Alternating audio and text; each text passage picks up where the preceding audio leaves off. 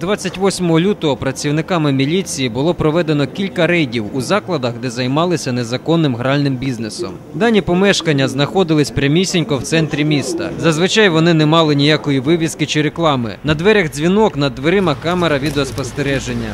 Всередині охорону та фейс-контроль здійснювали хлопці спортивної статури. До речі, під час рейду міліції охорона закладу наділила себе повноваженнями перевіряти документи у журналістів та давати чи не давати дозвіл на зйомку.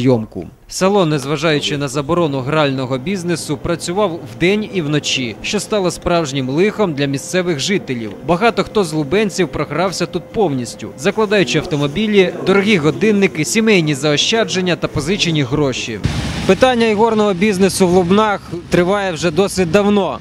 Вже не один місяць жінки звертаються до міліції з проханням зробити щось. Їхні чоловіки втрачають останні гроші на ігрових автоматах. І тільки сьогодні, 28 лютого, ця справа зрушила з місця. 28 лютого правоохоронці досить активно накрили два заклади сумнівної діяльності. Вилучили близько півсотні комп'ютерів та автоматів, склали відповідні протоколи, знайшли київського власника та вилучили майно. Офіційної версії чекаємо в понеділок на прес-конференції в начальника Лубенського райвідділу міліції.